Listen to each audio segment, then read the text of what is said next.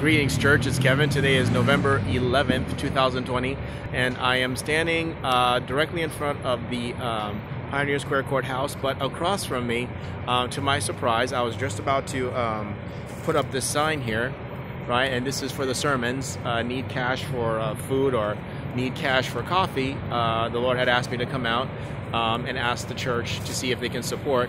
Um, there it is. Uh, it wasn't there yesterday, but apparently they uh, brought it in today for um, for the city, getting all ready for Christmas, which is uh, December is not for another three weeks. Uh, Christmas is probably not for another seven weeks, but uh, looks like our Christmas tree is out. Um, and it's barricaded right now. They're putting on. Um, let me lift this up. There, you can see the black um, right around. It, it's fenced in, and they're putting in the branches one branch at a time. I, this is really fascinating. I've never seen this before.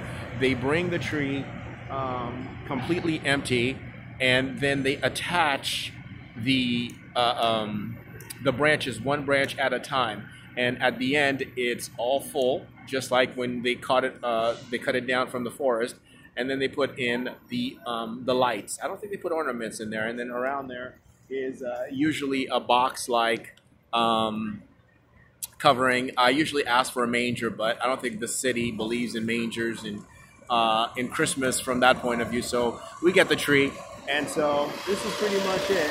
There's not a whole lot of activity going on in downtown Portland. You can see the park is kind of empty. There's nobody there except for the workers that are behind. Um, that's the uh, KGW studio over there, uh, Channel 8. And uh, there's Starbucks right behind over there, and um, and you can see the Stoll Rise building. I think in the future, uh, right over there behind that white building is going to be one of those towers. And so uh, right now it's rising.